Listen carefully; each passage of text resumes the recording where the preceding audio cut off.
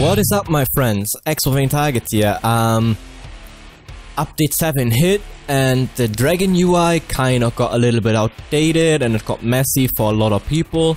But don't you worry, that's why I'm making this video now. Um, we had to actually replace some of the add-ons or disable some of them completely. It, some stuff changed, and uh, I'm still not really happy with the performance of it. I think it's it's just a minimap. You can just disable it if you like, but uh, let's just dive into it, right? Because why not? So, um, as you see, there's still a lot of them here. I disabled a couple of them. Uh, Combat Analytics is um, kind of messy at the moment. When you have it on, um, you get status when you do AoE and everything, so that's not really really a good thing to have right now, unfortunately. And I think the guy who makes this doesn't play anymore, so I don't think that there's going to be updates anytime soon. So for now, it's just better to disable it. Then destinations, uh, it's another one that kind of clutters up your FPS by a bit. Master Recipe List, I mean, it still is fine, but it's not updated either. Harvest map, well, I actually never really used it that much because it uh, another source of bad performance. Um, the Master Merchant one, it is in here, you can enable it if you like. For me, I don't really need it. And uh, it also lags your game, kinda, and uh, yeah, that's why I don't have it enabled here. But you can if you like. Uh, there's some other stuff that's not really that important. You can enable it when you need them. Um, but, but this is basically the setup that I have right here with the add-ons is uh, one that works and gives still good performance. Except maybe the minimap, uh, you can just disable it if you like. And uh, it should give you a little bit of performance boost. Because some, sometimes when you walk, you look at the minimap, it stutters. Very occasionally. Especially here at the map transition, my FPS should go down as well, a little bit. Let's see. Oh, it's still fine, it's still fine. Okay, there was no transition yet. Come on. There you go.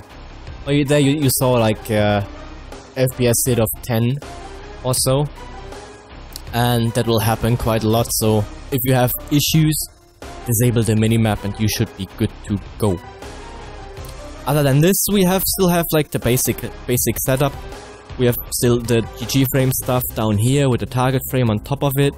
When I just target this guy, you see it, you know. The buff tracking stuff is also still there. You just use this real quick and uh, it's, it's still there where it's supposed to be. Um, the wicket bar is still up.